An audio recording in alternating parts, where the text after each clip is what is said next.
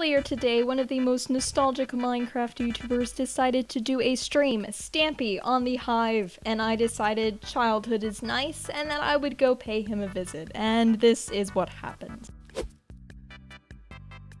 Now, at first, when I tried to join, I didn't think that it was actually going to work, and then it did! And I was stunned. I couldn't believe it. And this is what happened when he saw Dora. Oh, that makes this way more interesting. Now, I didn't mean to be Dora on the stream, but I was, and he didn't even care. Good, and they've already won. Uh, let's purple guy still here. Oh, they are. They are the purple guy. And then, uh, and then I'll back out, and then we're we're loaded up again. Then he told everybody, you know, don't freak out, just play the game, guys. So that's what I did. And this was actually my first time ever playing this game, as you can tell by my XP bar.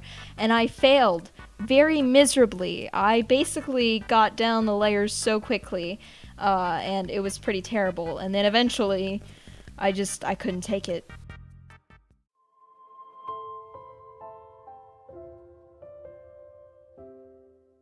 Now, after this happened, I decided that it would be nice to go and, you know, help out Stampy. Be very nice. He wasn't very confident in himself this game, so I told him I believed in him. And then he decided to.